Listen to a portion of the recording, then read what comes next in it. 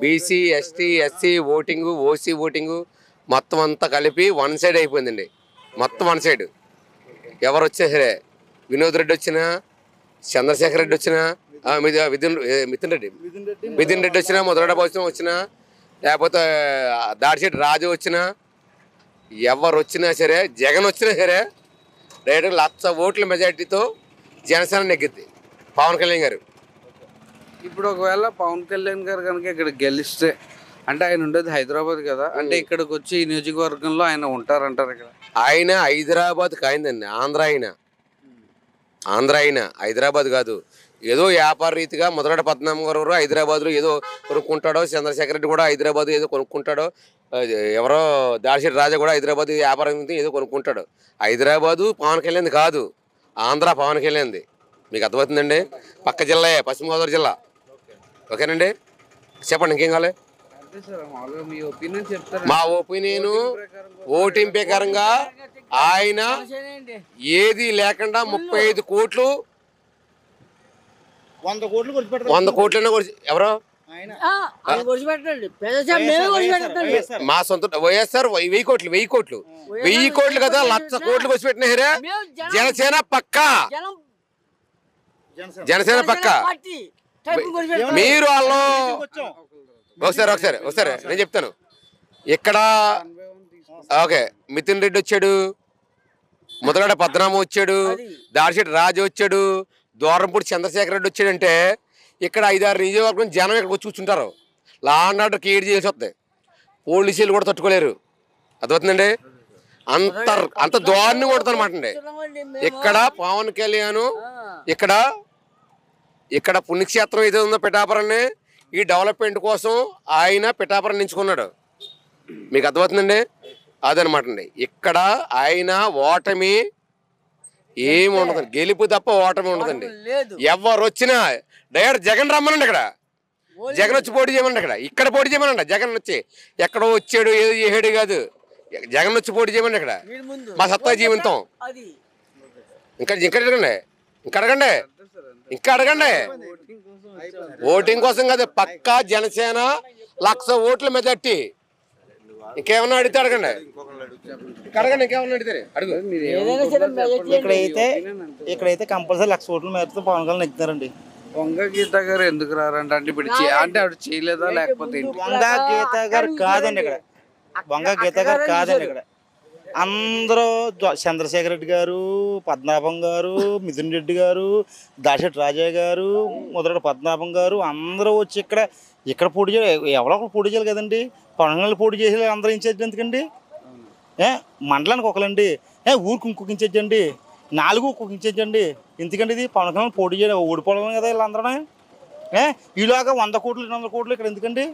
ఓటుకి ఓటుకి రెండు వందలు రెండు ఇది రెండు వేలు మూడు వేలు లక్ష? ఎందుకండి ఇది అంటే ఇప్పుడు వైసీపీ నుంచి వాళ్ళు ఒకళ్ళే వస్తున్నారు ఇప్పుడు ముగ్గురు కలిసి వస్తున్నారు కదా దాని గురించి. ముగ్గురు కలిసి కాదండి ఇక్కడ. ముగ్గురు ముగ్గురు అన్నది కాదండి ఇక్కడ. పవన్ కళ్యాణ్ మాకు ఇంపార్టెంట్ ఎంతమంది వచ్చినా రమ్మనండి. ఇక్కడ మాత్రం నెగ్గింది మాత్రం పవన్ కళ్యాణ్ గారు. ఏమండి? ఏమండి? మాకు పవన్ కళ్యాణ్ కావాలండి. మాకు పవన్ కళ్యాణ్ కావాలండి. ఆయన నెగ్గించిన బాధ్యత మాదండి. మేము వేరే ఊరు నుంచి వచ్చామండి. కానీ మేము ఇక్కడ కూడా వాళ్ళు మినిస్టర్లు అండి లేకపోతే ఇన్ఛార్జీలు అండి మేము కూడా మాకు చుట్టాలు ఉంటారండి పిఠాపురంలో. పిఠాపురం కోలంక లేకపోతే చిత్రాడ వీళ్ళందరూ ఉంటారండి. వాళ్ళందరికీ కూడా మేము వాళ్ళ ఇన్ఛార్జీలు అండి మండలానికి ఒకరు మేము ఒక్కొక్క ఊరికి ఇన్ఛార్జీలు అండి మేము. ఏమంటే మా సొంత రూపాయలతో ఖర్చు పెట్టుకుని మేము ఫుడ్ కూడా మేము పెట్టుకుని మేము వస్తున్నామండి. మీరు ఎక్కడి నుంచి వస్తున్నారు సార్? మాది జగ్గంపేట పక్కనే చదువుకోండి ఆ, మా పక్కనే అండి. మాకు రిలేషన్ ఉంటుంది కదండి. ఆ, ఆ రకంగా మేము పవన్ కళ్యాణ్ నెగ్గించుకుంటే బాధ్యతలు మేము ఉన్నామండి. వర్మ గారి సపోర్ట్ ఉందంటారని పవన్ కళ్యాణ్. పక్కాగా. పక్కాగా లాస్ట్ టైం కూడా ఆయన నాకు సీట్ ఇవ్వలేదని చెప్పేసి ఆయన ఏమీ లేదండి. లక్ష మేరట్లో నెగ్గుతామన్న ఆయనే వర్మ గారు. ఆ మెజార్టీతో నిలబెడతారు ఆయన. వర్మ గారు అంటే చాలా దమ్మున్న ఆయన ఆయన చాలా దమ్మున్న ఆయన వాళ్ళ రాజులు వాళ్ళ క్వాలిటీ నెగ్గి నెగ్గింతారు పవన్ కళ్యాణ్ గారిని కంపల్సరీ ఇది. ఇది చూసుకోండి మీరు. ఓకే. వీరబాబు అండి. గారు మొత్తం వల్ల చాలా మేలు జరుగుతుంది మన రాష్ట్రానికి. అతను చెడిని పారదోడి కొత్తగా మనకి మొక్కేసినట్టు ఉంటుంది. ఒకసారి పవన్ కళ్యాణ్ గారిని కోరుకున్నారు అంచేపు అతను దూషించమే జగన్ గారి పని కానీ జగన్ గారు దూషించక్కలేదు దూషించి అంత చెడిపోయిన మనిషి కాదు. చాలా రాంగ్ అంతమాన్ని ఇలా పెళ్ళిళ్ళని ఈ గొడవలు కులమని ఇవన్నీ పునుకుంటున్నారు జగన్ గారు. అది చాలా తప్పు.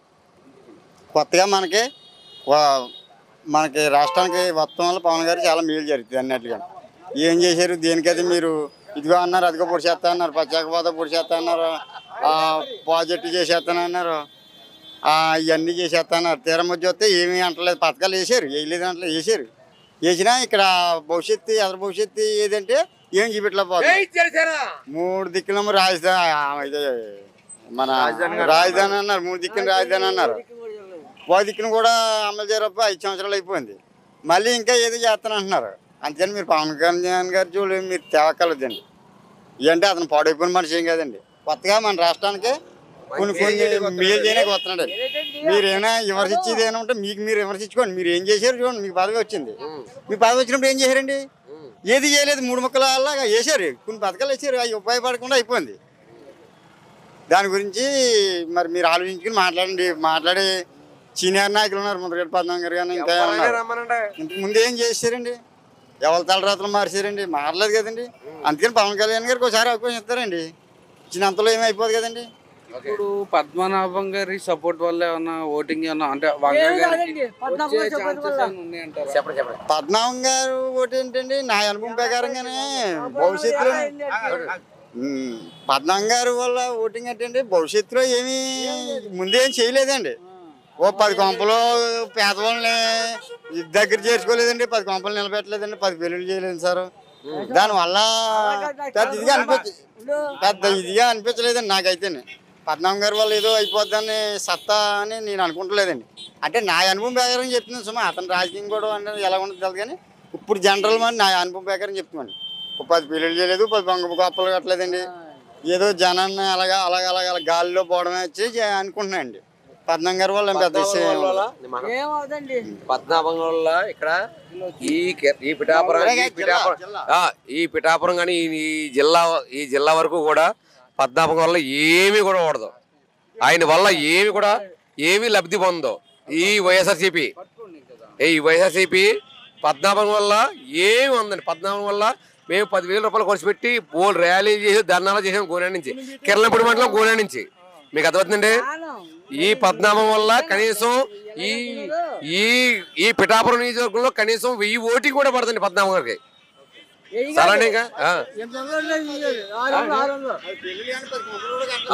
పద్మనాభం గారు ఈ మా కాపులకు కానీ ఈ నియోజకవర్గానికి కానీ ఏ వర్గానికి బీసీలు కానీ ఎస్సీలు కానీ ఎస్టీలు కానీ చేసింది ఏమీ లేదు.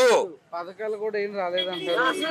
ఎవరో ప- పద్మనాభం వల్ల ఆ, లేదండి ఇప్పుడు మన వైసీపీ తరపు నుంచి పథకాలు ఏమన్నా? పథకాలు ఎందుకండి? అభివృద్ధి లేనిది పథకాలు. ఆ, పథకాలు ఎందుకండి? బ్రదర్ పథకాలు ఎత్తానండి అది ఏదో ఇంగ్లీష్ ముందు. జగన్ చేసే పని మంచి అండి. మంచి అంటే రూపాయి ఇచ్చి పది రూపాయలు లాక్కుంటున్నాడండి పెద్దల దగ్గర మన రూపాయి ఎత్తలేదండి. పది రూపాయలు లాక్కుంటున్నాడు ఒక రోడ్డు పోలేదండి ఎక్కడికి? పంటాలు మూడు రాజస్థానం కట్టాన్నారు మూడాళ్ళకి ఏ కట్టాడండి? ఏ పూర్తి చేశాడు? ఏది అవ్వలేదు. ఏం పని చేయలేదండి. ఆడు రైతులకు కూడా ఏం పని చేయలేదు అన్నాడు. నిజమే ఆ చేసిన పనులన్నీ ఇదే ఎలాంటి పని చేస్తాడండి? రూపాయలతో పది రూపాయలు లాక్కుంటున్నాడు. ఒక గుట్ట కప్పట్లేదు. మూడు కట్టా అన్నాడు. ఏది కట్టాడు వాడికి? ఏం చేశాడు? మనకి ఇప్పుడు మనకి పవన్ కళ్యాణ్ వస్తే మందం చూస్తున్నామండి. ఈ పెద్ద మందం వస్తారంటారా పవన్ కళ్యాణ్ గారు? యాభై యాభై ఏళ్ళు మెజార్టీకి వెళ్తుంటామండి మన పిఠాపురం. యాభై ఏళ్ళు అరవై ఏళ్ళు మెజార్టీ వస్తాడండి మన వంగ గీత గారి కంటే వంగ గేట్ ఏమి రావండి. వన్ సైడ్ అయిపోద్దండి మన మా- మా ఊరికి కళ్యాణానికి. One side అయిపోద్దండి. వర్మ గారి సపోర్ట్. వనమో సపోర్ట్ కదండి. వనమో సపోర్ట్ ఇప్పించాడు. వన్ సైడ్ అయిపోద్దండి. ఉన్నారండి సపోర్ట్ ఇప్పుడు వర్మ గారు? వనమే ఉన్నాడండి. ఇవాళ పొద్దున్నే వనమే కలిసి వచ్చాడండి. కాపాడి ఇక్కడికి వచ్చాడండి. అక్కడి నుంచి వచ్చామండి. ఆ తొంతూరులో పెట్టాడండి. ఏం జనం వచ్చాడు అనుకున్నాను అక్కడికి? అక్కడ కాల్ లేదండి. అక్కడి నుంచి బయట నుంచి ఇక్కడికి వచ్చాడండి. పదిహేను గారు అక్కడ ఉన్నాడండి అక్కడ. వరం గారు ఎప్పించాడండి యాభై ఏళ్ళు అరవై ఏళ్ళు మెజార్టీ వస్తాడండి ఇక్కడ. కళ్యాణ్కే వస్తుందండి. అదండి. ఎందుకంటే మెజార్టీ అయితే ఒక థర్టీ వరకు రావచ్చండి. వర్మ గారి సపోర్ట్ ఫుల్ ఉందా అండి మన పవన్ కళ్యాణ్ గారికి ఇస్తారంటారు ఆ, ఇస్తారండి. ఇస్తారు. లాస్ట్ టైం కూడా ఆయన నాకు సీట్ కావాలి నా తరపు నుంచి కూడా నేను పోటీ చేయను కష్టపడ్డాను తిరిగాను టీడీపీ తరపు నుంచి. అవునండి. మరి నాకు కూడా న్యాయం కావాలని చెప్పేసి అడిగారు. దాని గురించి మీరేమో అంటే మరి ఇప్పుడు టైఅప్ కదండి ఇది మరి. వరం గారు అంటే అన్నారు. ఇప్పుడు టైఅప్ కదండి మరి. అందువల్ల ఆయన సపోర్ట్ ఉంటదంటారా? ఉంటుందండి ఉంటుంది ఉంటుందండి. ఉంటుంది తప్పకుండా ఉంటుందండి. ఇంకొకటి ఇప్పుడు మన పవన్ కళ్యాణ్ గారు ఉండేది హైదరాబాద్. ఇక్కడ ఆంధ్రాలో ఇప్పుడు పోటీ చేస్తున్నారు. అంటే ఆయనది ఆంధ్రానే.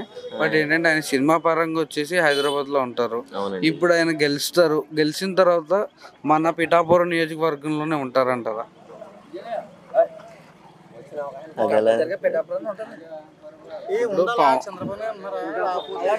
అలా కదండి. ఎలా ఉంటారు?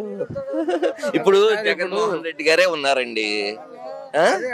ఇప్పుడు మేము అడిగే క్వశ్చన్ మనం ఎక్కడ ఉన్నాం? అదే కదా. మనం ఆలోచించేది.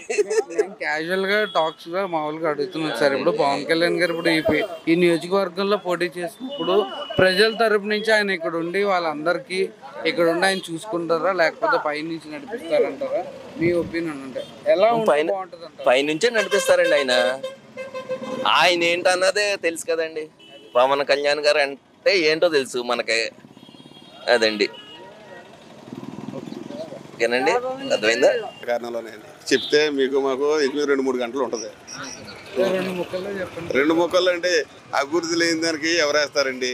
ఇవాళ పిల్లలు గంజాయి లాగితే ఇక్కడే రండి. మా పక్కన ఉంది ఇక్కడే ఆఫీస్ ఉంది. అందులో ఉంటారు. డైలీగా ఒక యాభై మంది వంద మంది కుర్రలు ఉంటారు. గంజాయికి అలవాటు పడిపోయారండి. ఎలా వస్తుందో ప్రభుత్వం పట్టుకోలేదా? ప్రభుత్వం తెలుసుకుంటే ఎంత ఎంతసేపు? ప్రభుత్వం తెలుసుకుంటే ఎంతసేపు? ఏ? మద్యపానం గురించి నిషేధం చేస్తానన్నట్టు చేయలేదు. అది పక్కన పెట్టండి. ఏ కారణాల వల్ల? ఏ ఉంటాయి. మనం దూరంగా దూరంగా ఆలోచించాలి? కానీ బెల్ట్ షాపుల గురించి చంద్రబాబు నాయుడు బెల్ట్ షాపుల గురించి వాళ్ళు మూడు రూపాయలు తీసుకునేవారు కాయకి. చంద్రబాబు నాయుడు ఉండగా మూడు రూపాయలు కమిషన్కి అమ్మేవారు. షాప్ కానీ తెచ్చుకుని బెల్ట్ షాపులు ఇప్పుడు కాయకి యాభై రూపాయలు. మా ఊళ్ళో ప్రతి షాప్ కూడా దొరుకుతుంది. యాభై రూపాయలు. ఆ టైం దాటిపోయాక యాభై రూపాయలు ఎక్స్ట్రా ఇచ్చి తాగుతుంది మరి ప్రభుత్వం ఏం చేస్తుంది? కళ్ళు లేవా? ఇంకేం కావాలా? అభివృద్ధి ఏముంది? ఇవాళ పిల్లలు ఎంతో మంది చదువుకునే పిల్లలు రోడ్డు మీద తిరుగుతున్నారు. సంక్షేమాలు ఎందుకండి? పదివేలు పదివేలు ఇస్తాడు అండి. సంవత్సరానికి లేదా ఇరవై వేలు ఇస్తాడు. లేదా యాభై వేలు ఇచ్చాడు అనుకోండి రోజుకు ఒక కాయ తాగుతుంటే ఒక కాయ మీద ఎంత భారం పడుతుంది? సంవత్సరానికి ఎన్ని కాయలు అవుతున్నాయి? ఎంత డబ్బు అవుతుంది? అది ఒకసారి లెక్కండి మీరు. లెక్కే చెప్పండి. తిరిగి మాకు ఇంకెంత బాకీ ఉన్నాడు? జగన్ ఇంకెంత బాకీ ఉన్నాడో తిరిగి చెప్పండి మీరు. ఇంకేంటి సంక్షేమం? పదివేల రూపాయలు ఇచ్చే సంక్షేమ. పెట్రోల్ పెట్రోల్ పెట్రోల్ మన బార్డర్లో మన బార్డర్లో ఉన్న బొంగులు వాళ్ళందరూ ఎడుతున్నారు. అక్కడ పోయి కొట్టించుకుంటున్నారు. మేమే మన శబరిమల వెళ్ళాం.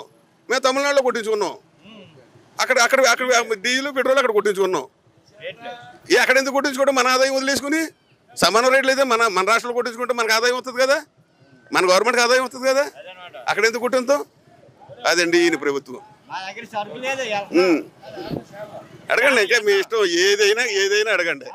ఏ లక్ష లక్ష- లక్ష లక్ష యాభై వేలు మెజార్టీతో వస్తుంది లక్ష లక్ష యాభై వేలకి మధ్యలో వస్తుంది వైఎస్ఆర్ వాళ్ళు వేళ్ళ మీద ఉన్నారో లెక్క పెట్టుకోవడానికి అది కూడా కొంతమంది అందరూ అని మనం అనకూడదు. కొంతమంది డబ్బుల గురించి ఉన్నారు. అందులో కూడా కొంతమంది డబ్బుల గురించి ఉన్నారు. అలాగని అందరూ కాదు. అందరిని అనకూడదు. అందులో ఎవరో ఒక మంచోడు ఉంటే ఆ మంచోడు గురించి అయినా మనం అందరినీ అనకూడదు. అందరినీ నిందించకూడదు. అది మా పాలసీ. ఇక్కడ అందరూ కూడా అన్ని కులాలు అన్ని మతాలు కూడా ఏకతాటి మీదకి వచ్చి పవన్ కళ్యాణ్ ఇక్కడ పెట్టడమే మా అదృష్టంగా భావిస్తున్నాం. అది భీమారపాళ్ళు తప్పు చేసుకున్నారు. గాజువాకాళ్ళు తప్పు చేసుకున్నారు. ఇవాళ మా చుట్టుపక్కల నియోజకవర్గాలు అందరూనే మీకు వచ్చింది అది ఇష్టం మీకు వచ్చింది అది ఇష్టం అనేసి వాళ్ళు మమ్మల్ని అంటుంటే మేము ఎంత ఆనందించాలో వదిలి లేకుండా ఉంది. మా పరిస్థితి అంత ఆనందంగా ఉంది.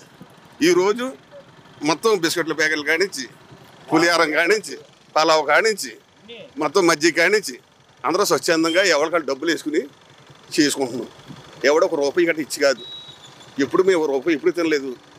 మేము అప్పుడైనా ఐదో ఎలక్షన్ ఇది నేను చేస్తుంటా. ఎప్పుడు కూడా పది రూపాయలు ఖర్చు పెట్టాం కానీ ఎప్పుడు ఎవరి దగ్గర కూడా ఒక రూపాయి ముట్టుకోలేదు. ముట్టుకుని రేపితే ఏవైనా ఏ ఓడి కొరకైనా సిద్ధమే. అది. సరే. Thank you sir